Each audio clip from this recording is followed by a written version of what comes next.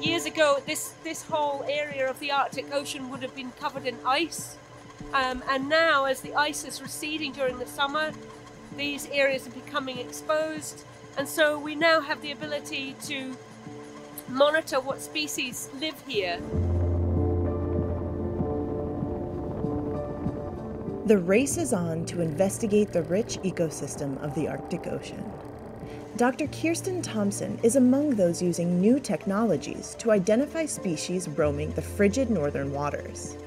The Arctic is quite rich in biodiversity and it provides um, habitat for a whole number of different species, many of which are very specific to those areas. There's a lot about the Arctic that we don't know and a and huge knowledge gaps, so we need to really focus our attention on understanding this ecosystem much better. Thompson is using eDNA sampling to detect whether an animal has visited certain waters. What we're doing here is we're collecting environmental DNA from the seawater E stands for environmental DNA.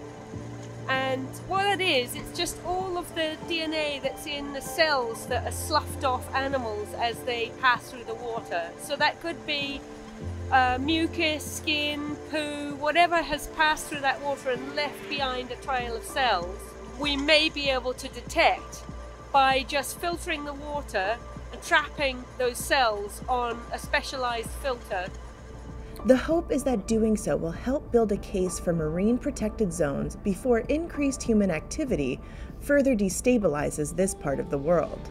Currently, there are no environmental protection areas covering the waters of the North Pole. Scientists believe the Arctic could be free of sea ice in the summer within decades. This would make it an attractive route for intercontinental shipping, which brings with it the risk of accidents and oil spills. Much of the Arctic ecosystem is unprotected, and this is really quite a concern because um, as the ice recedes and this whole area warms and is changing so rapidly, it means that it's now quite vulnerable to the impact of human activities. And that's why we really, really need uh, a very strong global ocean treaty to protect these areas.